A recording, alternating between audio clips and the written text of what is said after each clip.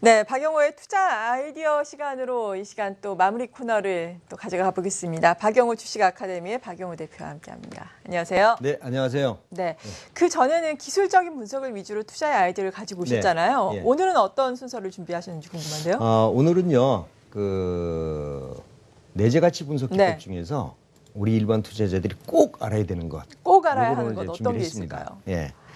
어, 일단 뭐 주가 분석에는 기술적 분석하고 내재 가치 분석이 있는데 일반적으로 기술적 분석에만 의존하다 보면은 주가 변동할 때 상당히 좀그 저기 그 마음의 요동이 치거나 아, 좀 이렇게 그 어려운 경우가 있는데 네. 근데 이거 내재 가치 분석을 하면은요, 아, 회사의 가치를 믿고 투자하는 거기 때문에 충분히 주가의 변동이 있더라도 나는 참고 기다릴 수가 있습니다. 그래서 아, 기술적 분석보다는 내재 가치 분석을 좀 더 알아두는 것이 내가 그 장기 투자에 상당히 유리하다라고 말씀을 드리는데요.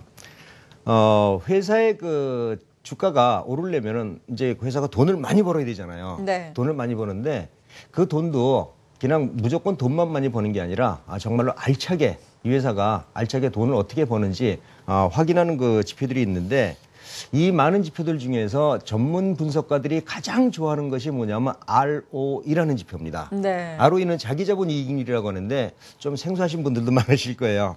근데 어, ROE는 워렌 버핏도 굉장히 중요하게 생각하는 그 지표입니다. 그래서 워렌 버핏이 ROE만 보더라도 어, 기업의 성장성과 기업의 가치를 볼 수 있다라고 얘기를 하고 있는데 오늘은 워렌 버핏도 좋아하는 ROE 여기에 대해서 설명을 드리겠습니다. 네, 사실 이 시간을 통해서 많은 분들이 기업에 대해서 자세하게 분석을 해드리면서 PER, PBR, ROE 이런 말씀 많이 하시는데 PER을 특히나 많이 보자 ROE 같은 경우에는 어, 얘기는 들었는데 개념이 명확치 않다라는 분들이 많으실 것 같아요. 좀 설명부터 해주시죠. 네, 그 ROE가 그 사실 재무 분석 기술에서 굉장히 중요하게 다룬 이유가 뭐냐면은 네. ROE는 어, 수익성과 그 다음에 그 회사의 자본 운영 이걸 동시에 볼 수 있는 거거든요.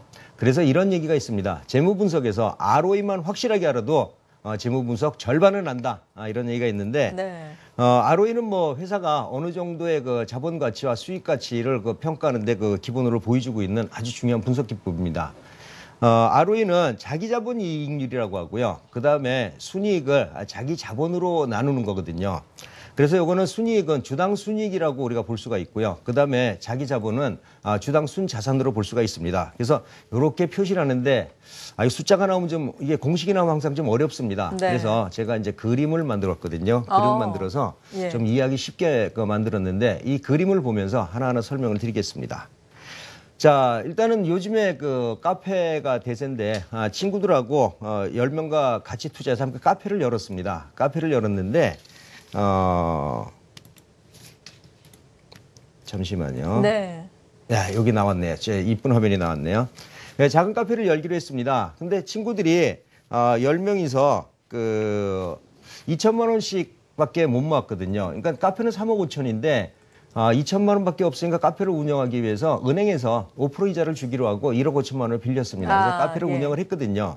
그래서 통 투자금은 3억 5천만 원이지만은 현금은 2억 원, 그다음에 은행 이자 1억 5천 원이거든요. 여기서 내가 투자한 돈이 얼마냐면 2억 원입니다. 예. 요것을 무엇이라고 하냐면 자기 자본이라고 하거든요. 내가 순수하게 투자한 자본이 부채를 빼고 그다음에 내가 순수하게 투자한 자본이 이제 2억 저기 자기 자본이라고 하는데 이렇게 투자를 해갖고 장사를 잘했습니다. 장사를 잘해서 연한 3천만 원 정도의 그 수익을 냈네요. 아 괜찮습니다. 근데 은행 이자 지출이 5%를 기준으로 해서 약 750만 원 정도가 되고요. 네. 순이익에서 어, 750원 빼니까는 2,250만 원이 남네요. 그러면은 저는 그 총 매출은 아, 총 수익은 3천만 원 올렸지만은 내가 현재 가지고 있는 이자를 제외하고 가지고 있는 자본금으로 확인해 봤을 때 아, 자기 자본 이익률은 2,250만 원, 아, 2억 원하고 비율을 해보니까는 약 11.25%가 되는 겁니다. 요게 ROE라고 하거든요. 그러니까 ROE는 내가 가지고 있는 돈과 그 다음에 현재 총 벌어들인 수익금의 비율을 얘기하는 건데 이게 어, 상당히 중요한 역할을 많이 합니다. 네, 그러겠네요. 그러니까 자기 자본보다 아무튼 많이 벌면 벌수록 좋은 거니까 ROE가 높으면 높을수록 좋은 거겠네요. 근데 ROE가 왜 중요하냐면요. 왜 ROE가 중요한 이유는 ROE가 증가한다는 것은 그만큼 주주들한테 배당을 해줄 수 있는 여력, 돌려줄 수 있는 여력이 커지는 거고요. 예. 그리고 기업 가치가 증가를 하게 되니까 기업 가치가 증가하면 곧 주가가 상승하는 거거든요. 그래서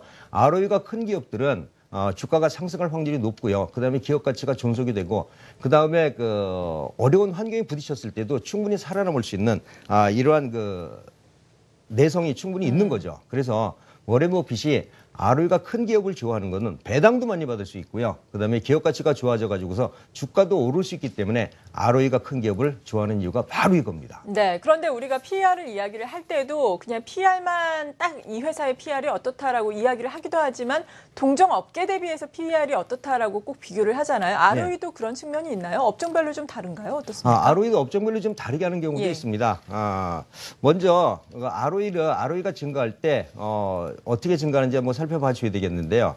ROE는 부채 비율이 높아지면 ROE가 좀 증가하는 경향이 있습니다. 지금 이 그림을 보시면은 아, 처음에 그 A 카페의 경우에는 아까 말씀드렸고요. B 카페 같은 경우에는 돈을 조금 줄이고 은행 이자를 많이 받아가지고서 그 운영을 했는데 실은 B카페 같은 경우에는 실적은 좀 줄어, 줄었어요. 전체적으로. 아, 순이익은 1,750만 원이지만은 부채 비율을 제외한 아, 그다음에 나머지 자본 가지고서 자본이익률을 따져 보니까 ROE는 17.5%나 되는 겁니다. 네. 그래서 부채 비율이 조금 높은 기업이 ROE가 좀 높게 나온다라고 보시면 좋을 것 같고요.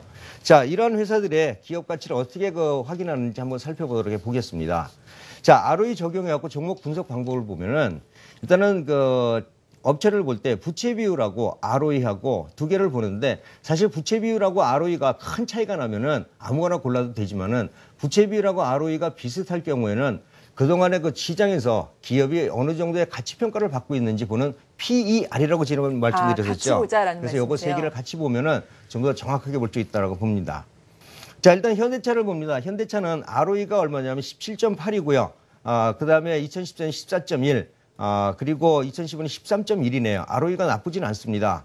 기아차 ROE를 보시자고요. 기아차는 ROE가 20.58이고요. 그 다음에 15.96, 14.8자를 보면은 기아차가 ROE가 훨씬 더 우수합니다.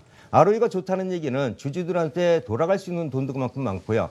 회사가 충분히 그 어, 내성을 키울 수 있고 성장 가능성이 있다라고 보는 거거든요. 그래서 지금 현재 ROE만 본다면은 현대차하고 기아차하고 고민하시는 분들이 많잖아요. 네. 어떤 거를 탈까 고민하시는 분들이 많은데 어, ROE만 ROE만 본다면은. 기아차가 훨씬 더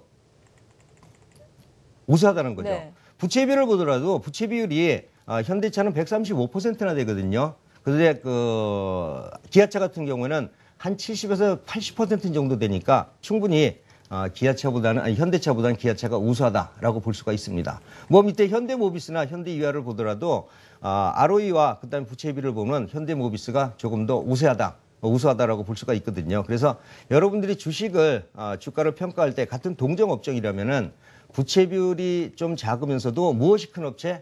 ROE가 큰 업체. ROE가 큰 업체는 그만큼 회사가 아, 충분히 그 주주들한테 배당도 많이 하고요. 그다음에 주가도 오를 수 있다라는 관점이니까 혹시 두 종목을 비교할 때 어떤 종목을 선택할까 좀 고민이 된다면 아, ROE를 어, 충분히 아, 활용하는 아, 이러한 그 전략으로 대응을 하시면 좋을 것 같습니다. 네, 그러니까 ROE가 높은 종목을 찾아보자. ROE를 비교 분석을 하면서 부채 비율과 그리고 PER도 함께 보면 더욱 더 좋다라는 말씀이었습니다.